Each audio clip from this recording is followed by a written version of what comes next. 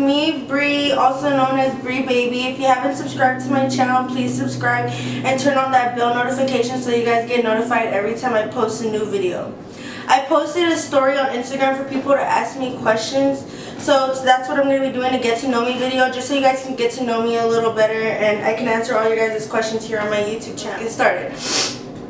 Question number one. Where are you from and where do you live now?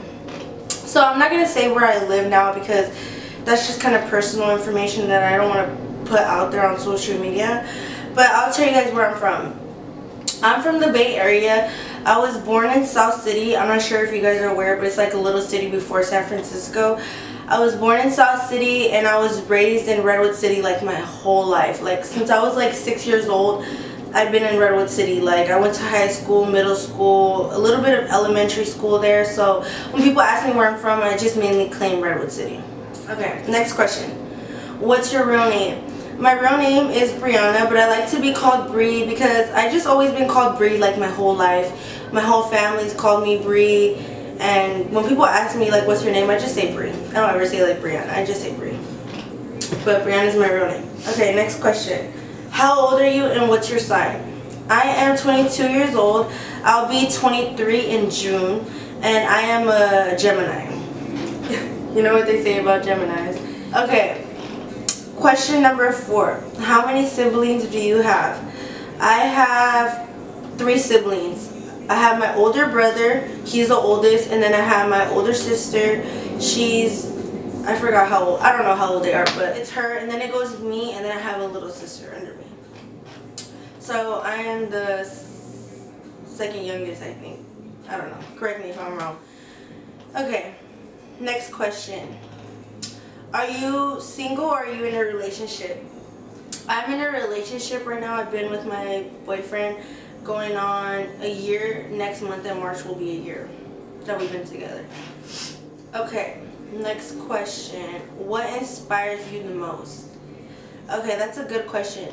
So I would say what inspires me the most is my niece. My niece is like everything to me and I just feel like my niece has brought like such a blessing to my family like um, I say it brought my family a lot closer, you know, like we do a lot of things for my niece, like for a perfect example, like for Christmas, like my brother went all out and he bought Santa Claus suit and like dressed up for her all for Christmas, like we just always come together as a family for my niece, like my niece inspires me, like I want to give my niece the life that we didn't have growing up.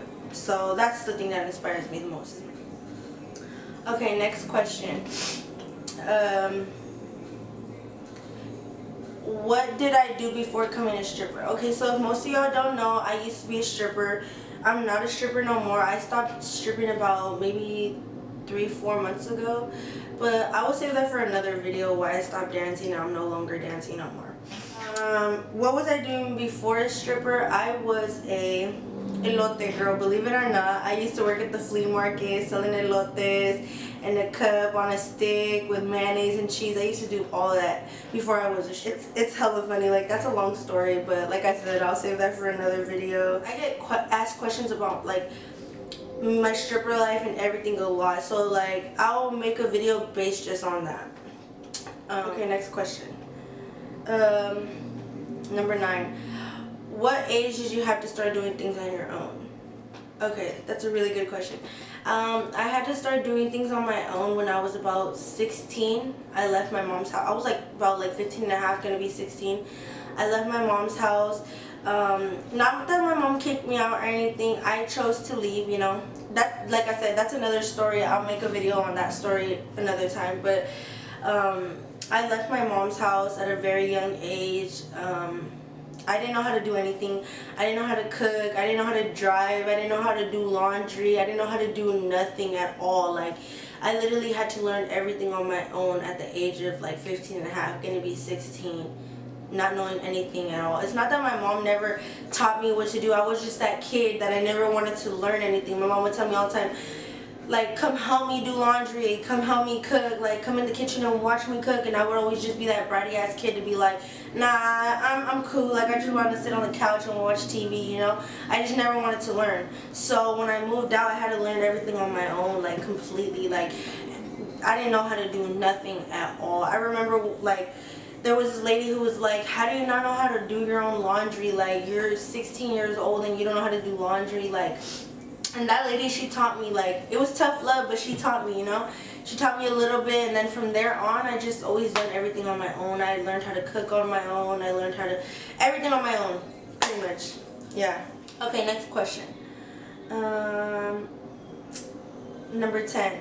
Were you nervous to start dancing and how did you get over being nervous? Um, I wasn't nervous to start dancing. I was more nervous because I was more nervous like of the girls like because I didn't know how to, you know, I didn't really know what I was doing. I was barely coming into this, like I'm fresh meat and all these girls who know they've probably been dancing for five, ten plus years. Who the hell knows how long these girls been dancing? So I was really nervous about going in and looking hella dumb and these girls laughing at me like this girl don't even know what she's doing. Like, you know what I'm saying? Like I, that's what I was nervous for. But as far as like going in stripping, like no, I wasn't. I was very confident and then I was like, I got this. Like I could do it. I was just more nervous for like the girl part. Like they were just, I just didn't want to look dumb. Do you know what I'm saying? Okay, next question. Um, what advice would you give to girls who want to dance? So like, people always ask me this, like, what advice I I'm not a, a person who's really good at giving advice, honestly. Like, I I don't really know how to give advice. Like, I know that sounds crazy, but I really don't. Like, my advice is basically like don't just do it just to do it because you see everybody else doing it. Like there's a lot that comes with dance. Everybody thinks that it's just shaking ass and you just get your money. And it's not like that. Like you have to build your clientele. Like you can't just be stepping on another girl's toes because you see her making money. Like you don't know if that's that girl's clientele. Like you know it's just like there's a lot that comes to it. So honestly like don't just do it because you see everybody else doing it like straight up like I can't really give you guys advice because when I went into dancing I did it all on myself. I learned everything on myself. You know I remember when I started dancing like girls would tell me like there's levels to this shit like you don't know which you don't know the difference like and I used to get mad and I would be like don't fucking tell me like in my head I'd be like don't fucking tell me like I I, I thought I knew what I was doing. But no like as time went by me dancing like I knew like what that girl meant like there's really levels to dancing like so like I said like one day I'll make a video just based on that but as far as advice like I said just don't just do it because you see everybody else doing it you know? I don't know I ain't really good at giving advice guys sorry okay. Number 12 what are you completely over and done with? Okay I would say that I'm completely over and done with just my past completely. Like, there's not one thing in specific that, like, I'm completely over and done with. I'm just completely over and done with my past. Like, I, I was the type of person to hold on to my past and keep crying about the past, but I had to learn and realize that, like, crying over the past ain't ever to change anything. Like, you just got to move forward. You know what I'm saying? So, I'm just over my past. I'm over all the pain, all the hurt, everything that I was holding on to. And I'm just over it. Like, I'm ready to move on, live my life, and just get over that shit. Like, I'm focused on my future and the woman that I'm becoming. You know, I don't need to worry about the past, something that I can't fix. You know what I'm saying? All I can do is, is better myself and move forward. So, yeah, let's move on to the next question. Um, number 13 what's something people don't know about you? Okay i'm gonna tell you guys something that people don't know about me. Like this is not a secret. I just never really came like on like social media or anything to to like broadcast or say it but it's not a secret. Like i'm not i'm not hiding it. I'm not scared to say it to anybody. Like i'll tell everybody. So something that people don't know about me is that i can't have babies um, I would like to do another video just based on that, why I can't have babies, but um, I'm going to save that for another time because that's like a, a subject that's like I have to explain to you guys so you guys can understand and it's just a long story. Like I said, I'm going to make a video on that like eventually, just not yet, but I will. But a lot of people don't know that I can't have babies. Um, I don't really tell anybody, but like I said, it's not a secret. Friends know.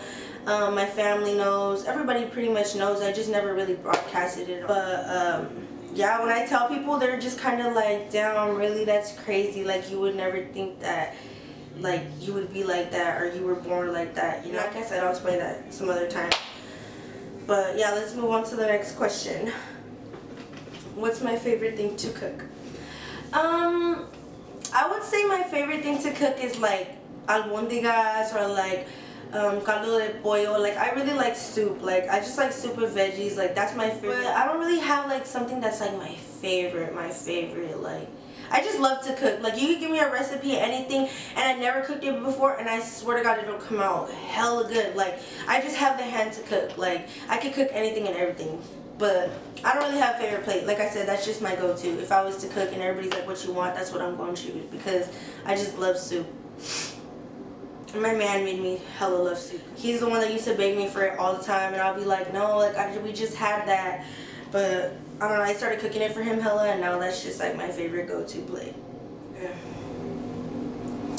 Next question is, do you plan on having kids in the future?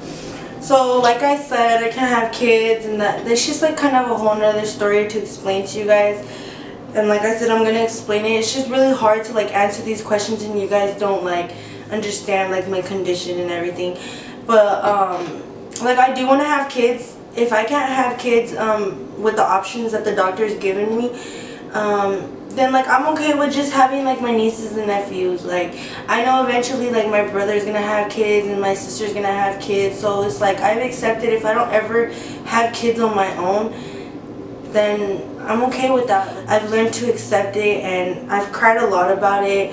Um, I was really sad about it when I first found out, but now I'm so grown and like I've grown from it because I found out when I was really young that I just I've accepted it and I've I love myself for who I am. So it's kind of like I said, if I don't have them, then I don't have them. Um, I do maybe want to adopt one. I would love to like give a kid like from a different country who like you know has it really bad and it's really poor out there. I would love to give them the life that I never had. But that's like later on in life. Right now I'm just really young still and I'm just focused on myself and I just want to wait until I get a little bit older. Maybe like when I'm 28, 29. I'll think about having kids then. But as far as right now, I'm, I'm not thinking about having kids. I'm just focused on me in my future. Next question. Do you get along with your parents? If so, how do they feel about you being a stripper or having an OnlyFans? So I do get along with my parents. I talk to my mom almost every day.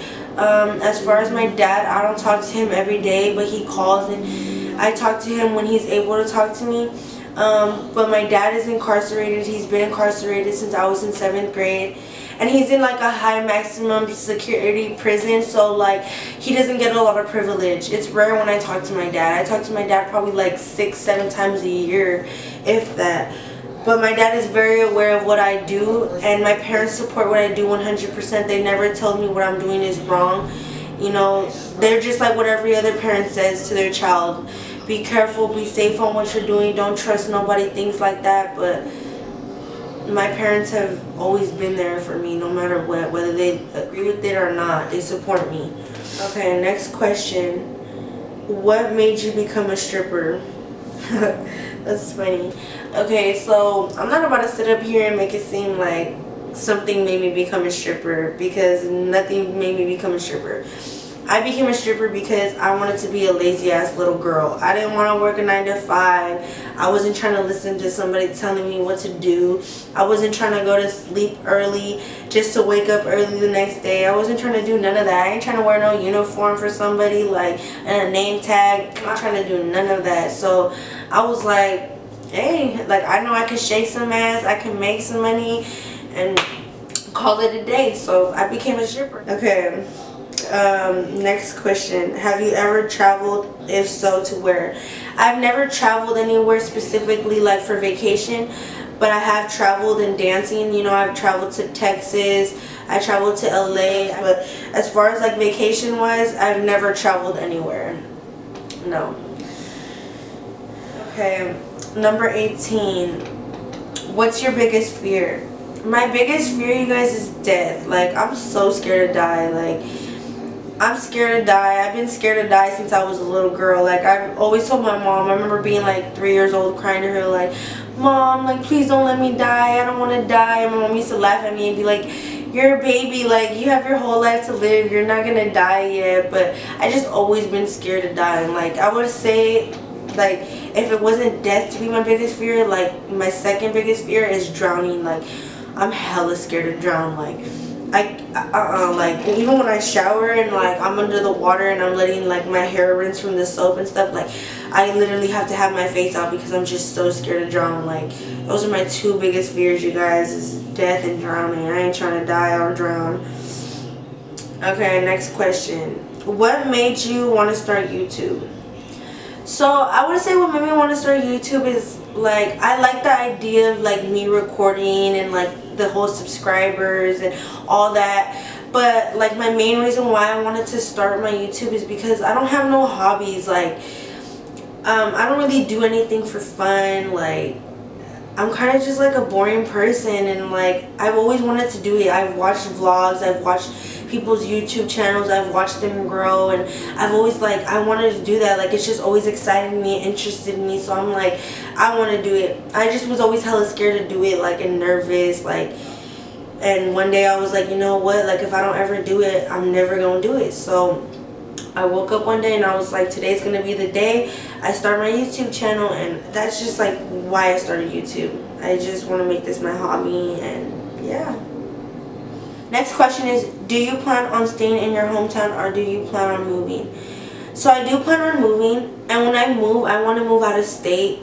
Um, when I move out of state, that's where I want to buy my house. I want to buy my house out of state because I want to start over. Like, I want to start fresh, new life, new people, new environment, new everything.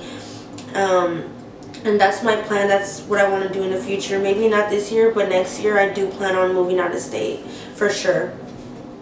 Alright guys, this is going to be our last question of the video. Um, the last question is, where do you see yourself in the future? So in the future, I see myself buying my own house. Like I said, um, I do plan on going back to school. I'm actually in the process of trying to go back to school. I just have to pay off my school loan because I was already, I went to school as a medical assistant um, I did finish that, but halfway through school, I was just realized like this isn't what I want to do. Like I didn't enjoy it. I didn't really like it. So I I did finish, but I just never worked as a medical assistant, and I never paid off that loan. So I have to pay off that loan before I could even go back to school. But once I do, I will go back to school, and I want to be a cosmetologist so I can buy my own shop and that'll be like a forever income that what female's not to need their hair done. No matter how old you are, you're always to need your hair done. Okay guys, so that wraps it up for this video. I hope you guys enjoyed. If you guys enjoyed it, please give me a thumbs up. I will be back with more videos, stories, vlogs, whatever you guys like. I really hope you enjoyed this video and I hope to see you guys in my next video. Thanks for watching.